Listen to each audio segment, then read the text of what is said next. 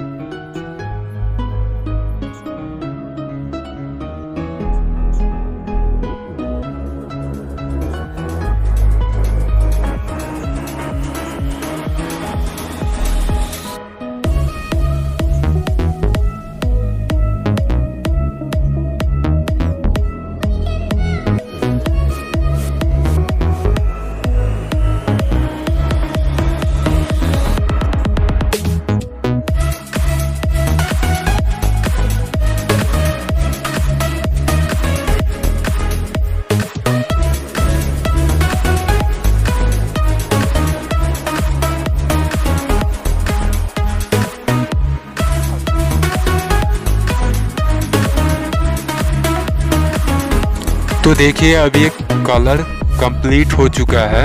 अब आपको समझ में आ रहा होगा, ये पूरा प्लान 25 फाइव बाई 50 फीट में मैंने ये प्लान बना के तैयार किया है गाइस तो देखो फ़र्स्ट ऑफ़ ऑल आपका ये मेन गेट उसके बाद से एंटर करेंगे।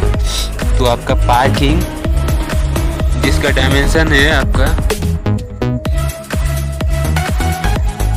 10 feet 6 inch by 12 feet 2 inch, और यहाँ से स्टेयर अप ये हो गया अपना। और ये मेन डोर यहाँ से एंटर करेंगे, उसके बाद से ये डोर और उसके बाद से ये अपना मास्टर बेडरूम जिसका साइज़ मैंने रखा है 13 फीट बाय 11 फीट 7 इंच उसके बाद से ये अपना डोर और ये अपना किड्स रूम जिसका साइज़ मैंने रखा है 9 फीट 6 इंच बाय 8 फीट का।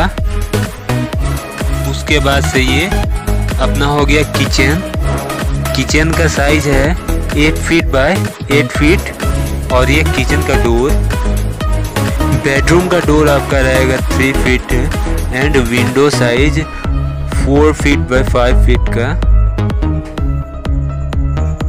ये सब ऑप्शनल है गाइज़ आप चाहें तो विंडो और डोर का साइज़ अपने हिसाब से रख सकते हो।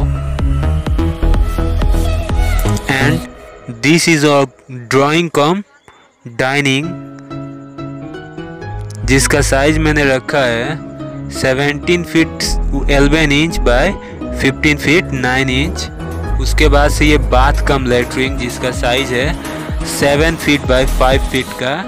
उसके बाद से bedroom 11 feet by 11 feet 8 inch by 12 feet का दिस इज़ और attach toilet 5 feet 8 inch by 5 feet this is second attached bath cum latrine जिसका साइज़ है six feet one inch by five feet का. और ये अपना बेडरूम जिसका size मैंने रखा है 12 feet one inch by 12 feet का. उसके बाद से देखिए ये अपना कॉलम का position. One two three four five six